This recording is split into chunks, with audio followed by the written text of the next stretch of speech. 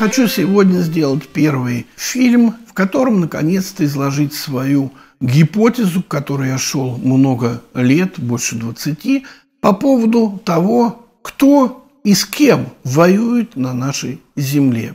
В последнее время одна из моих последних книг – это книга «12 ликов Еги». В ней я как раз описал ту самую войну, которая идет на земле, частью которой является данная специальная операция на Украине. И эта война, она идет по данным этой моей книги между русским народом и религиозными народами. И к русскому народу относятся все белые народы, а к религиозным народам относятся все цветные народы.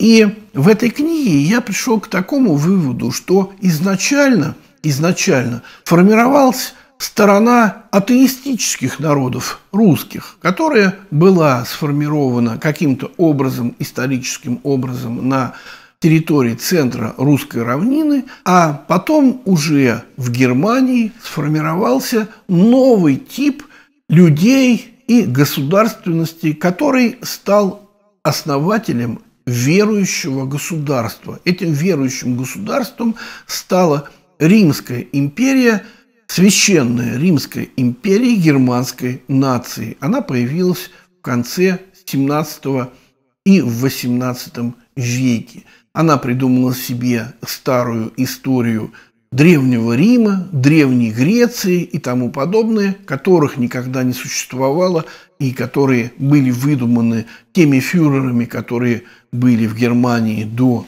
того самого Гитлера. И вот между этими двумя перекрещивающимися цивилизациями и идут постоянные войны – если вы вспомните Первую мировую войну, то немцы напали на Россию. Вторую немцы напали на Россию. Третью, которая сейчас, возможно, идет по заверениям многих, опять же, немцы, ну то есть как бы ближневосточное их крыло, библейская нация напала на Россию и на русские народы, в том числе и на украинские. Если берем Зеленского, то сам Путин определил его национальность как библейскую. И дело в том, что получается так, что все, абсолютно все войны на Земле, это не мой вывод, это до меня уже сделали философы такой вывод, они идут только между людьми, которые не верят в авраамического Бога, и теми людьми, которые верят в него. Все эти войны всегда назывались одним словом – крестовые походы. Гитлер сюда шел на территорию Советского Союза, который не верил в то время в авраамического бога, тоже с крестовым походом, об этом всегда все трубили, и он этого не стеснялся. В 91-93 годах 20 века пошел очередной крестовый поход против России, который увенчался успехом, и сегодня все государственные деятели России ходят в церковь и крестятся. Это признак того, что они являются оккупационной администрацией по линии именно того немецкого начала над Россией, которая появилась в результате этого государственного переворота. Ну, надо отдать должное нашим вновь испекаемым государственным деятелям, они не всегда ходят в те самые храмы, и все-таки атеизм в их головах берет вверх. Но самые стойкие политики наши, они все время ходят в храм и стоят там и воодушевленно крестятся. Так вот, я, когда написал книгу «12 ликов Еги», а она посвящена все-таки богине Еге, Ега – это в том числе и наша Земля. И в итоге я сделал для себя такой промежуточный вывод, что действительно войны все и противостояние идет между атеизмом и религиозными всевозможными воинствами, или как они себя называют, воинство Бога. То есть они в любом случае воинство, а не народы, которые несут любовь. Они любовью прикрываются, как детьми бандиты, но несут всегда только смерть и разрушение, как это видно во всех странах, куда проникает церковь. Однако параллельно я все эти 20 лет вел и другие исследования чисто антропологические. Я хотел понять, сколько видов человека существует на нашей Земле и какие это виды. Как-нибудь я вам расскажу поподробнее. В некоторых моих фильмах я уже к этому обращался. Сейчас я сделаю только один такой, знаете, срез, чтобы вы поняли, к чему это все привело в итоге. Как-то лет 15 тому назад я стал создавать книгу и в ней карту археологических культур, какая культура из какой произошла и в какую далее развелась. И что интересно, у меня автоматом образовался два потока археологической культуры вот на нашей территории от Урала до запада Европы. И про Африку там отдельный вопрос. Дело в том, что на нашей территории все археологические культуры так или иначе, они приходят к человеку современного вида, то есть к тому, что мы называем сегодня русским человеком или белым человеком. А в Европе такой картины не было. Там изначально были неандертальские культуры, и нам где-то примерно в 90-х, даже, может быть, раньше годах, ученые стали говорить о том, что неандертальцы все, мол, вымерли, и вы их больше можете даже не искать. Но в 2000-х годах стали появляться на Западе многочисленные научные работы, публикации, в которых говорилось, что Существует генетика неандертальцев, существуют их большие проценты в европейской нации. У некоторых в мозгу, в мозговом веществе достигали эти проценты 30-40 процентов неандертальских генов. То есть это серьезное было такое, это огромное влияние. Это практически другие люди. И вот получилось так, что после культур Мустье, которые официально считаются культурами неандертальского человека, я вдруг заметил, что везде, во Франции, в Испании и там далее, вот в этом месте, где жили неандертальцы, ничего после Мустье, которое исчезло в 30-м тысячелетии до нашей эры. Ничто не исчезло, люди-то остались, только они перешли на этих же территориях, из этих же культур, в культуры так называемых азиль. И это культуры, которые имеют примерно центральную дату своего существования 15 тысяч лет, но они не являются культурами мезолита, а мезолит – это культуры человека современного вида. Дальше не буду я вас этим загружать, просто имейте в виду, что на территории России человек современного вида перемещался по линии времени, формируя культуру верхнего палеолита, это примерно 50 15 тысяч лет. Дальше он сформировал культуру мезолита, это 15-8 тысяч лет до нашей эры. Потом неолита, 8-3 до нашей эры.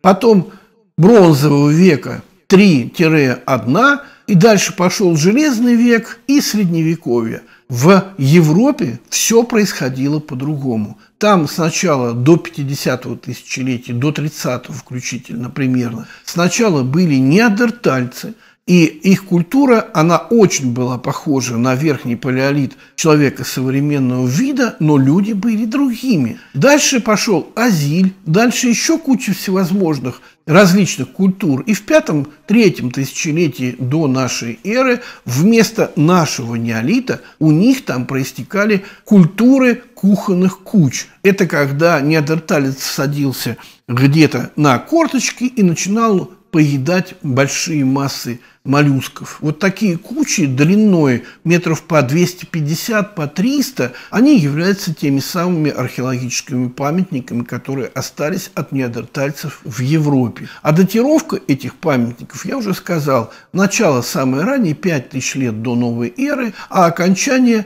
средние века нашего времени. И такие же культуры кухонных куч, они обнаружены в том числе и в Японии до первого тысячелетия нашей эры. Поэтому я из этих культур, из их унаследования друг другом, я сделал выводы, что Европа и вся остальная территория Евразии, кроме России, она была заселена как изначально – неандертальскими видами человека, их было около 30, так и по сегодняшний день. Это те самые цветные народы, и, и в обозначении этих народов неандертальцами, сегодня, в наше время, нет ничего негативного, потому что большинство антропологов Европы работает над тем, чтобы признать Европу неандертальским наследием и неандертальским развитием, которое, естественно, происходило из той самой Африки. То есть у них в этом самом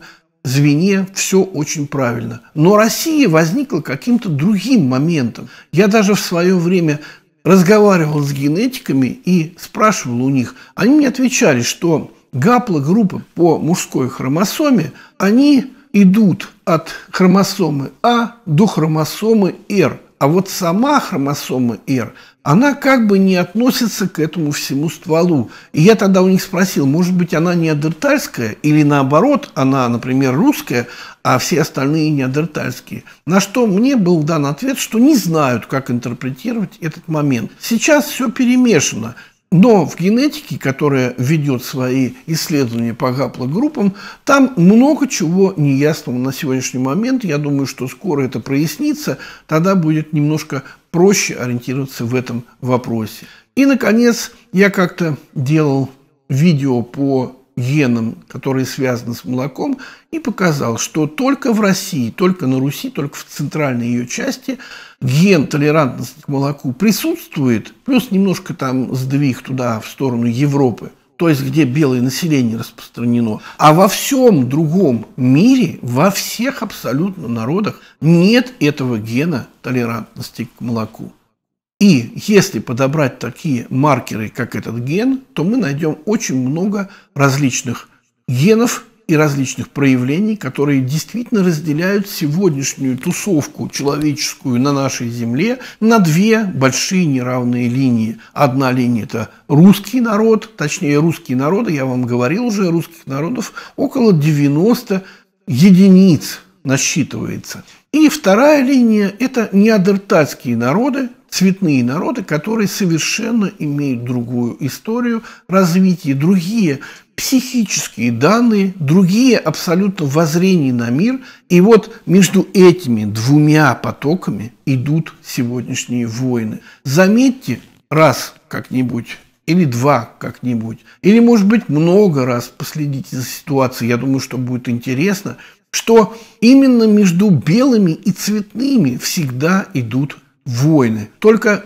проблема здесь в том, кого относить к кому. Дело в том, что вот, например, германцы, они не все белые. Там из четырех составляющих наций это государство только одна часть, одна нация является белой, та, собственно, которая была из русского народа, а все остальные три, в том числе и из которой был тот самый Гитлер, Чернушка, как его звали свои коллеги, они уже являются цветными. Швейцарцы цветные, они относятся к неандертальцам северного типа. Например, Норвегии тоже, несмотря на белизну их кожи там и всего такого прочего. Финны – это монголоиды из Китая, я уже говорил. Допустим, если берем англичан, то они наши родственники, но в определенной части, потому что если мы будем брать галов, например, которые тоже в основе Англии лежат, то это цветные населения, которые уже роднее баскам и жителям нашего Кавказа и ближневосточных всех вот этих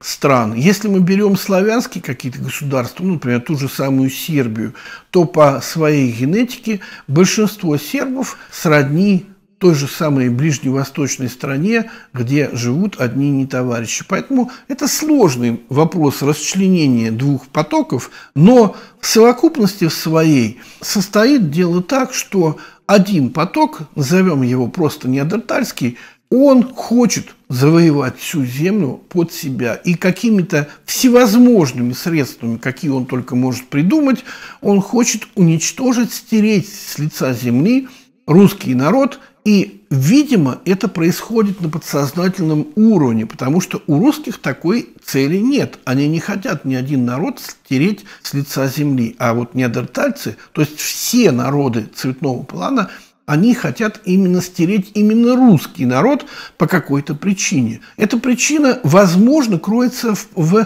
происхождении, которое они себе придумали, потому что считается, и я сам в свое время у КГБшников спрашивал, какая у них там КГБ идет ну, как бы такая теория происхождения людей. И они говорили, что русский народ произошел, пришел на землю по лучу.